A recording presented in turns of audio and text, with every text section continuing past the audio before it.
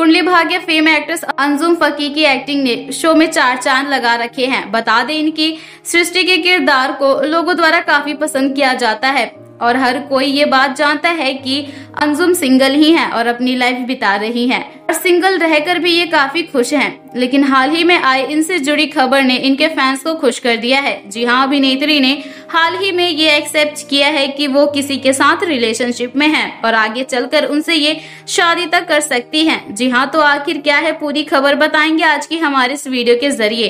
अगर जानना चाहते हैं, आप भी तो बने रहे हमारे साथ इस वीडियो के अंत तक। पर इससे पहले आप हमारी वीडियो को लाइक करना ना भूलें। आमतौर पर अभिनेत्री अंजुम फकी की आपने लाइफ से जुड़ी हर एक बात कैमरे के आगे बताते हुए देखी होगी।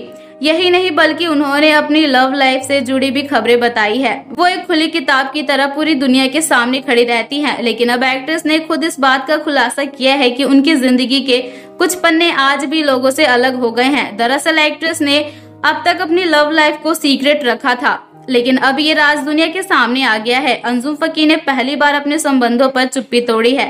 आपको बता दें एक, एक्ट्रेस सिंगल नहीं है बल्कि वो किसी को डेट कर रही है। अंजुम ने अपने रिश्ते को लेकर चौंकाने वाली खबर बताते हुए बताया कि वो सालों से एक लड़के को डेट कर रही है। एक्ट्रेस अंजुम ने कहा मैं करीब पिछले डेढ़ साल से एक लड़के को डेट कर रही हूँ। मैं फ़ैन के सामने नहीं आई और उस लड़के के लिए अपने प्यार का इजहार भी नहीं किया, जिससे मैं डेट कर रही हूँ। और ऐसा इसलिए क्योंकि मुझे लगता है कि जब तक चीज़ें सॉलिड नहीं होती, मुझे ऐसा नहीं करना चाहिए। मैं सीरियसली मानती हूँ कि नज़र लग जाती है। और अंजुम ने अपने बॉयफ्रेंड की कोई जानकारी नहीं दी। आपको बता दे, अंजुम अपने बॉयफ्रेंड की पहचान रिवील नहीं करना चाहती, लेकिन उन्होंने बताया कि उनका बॉयफ्रेंड इंटरटेनमेंट से नहीं है।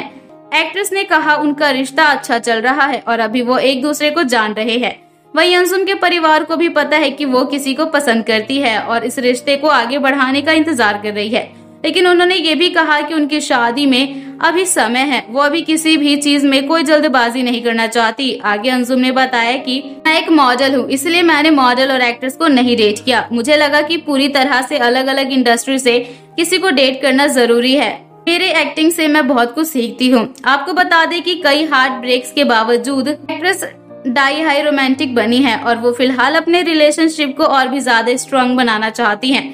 तभी जाकर ये आगे के बारे में कुछ सोच सकती हैं। तो दोस्तों, आप क्या कहना चाहेंगे अंजुम फकी से जुड़ी इस खबर के बारे में जानकर? आप चाहेंगे कि आपकी फेवरेट अंजुम फकी भी जल्द से जल्द शादी के बंधन में बंध जाए? आप हमें अपनी राय कमेंट बॉक्स में कमेंट करके ज़रूर बताएँ। साथ ही टीवी इंडस्ट्री से जुड़ी ऐसी तमाम खबरों को जानने के लिए हमारे चैनल को सब्सक्राइब करना ना भूलें।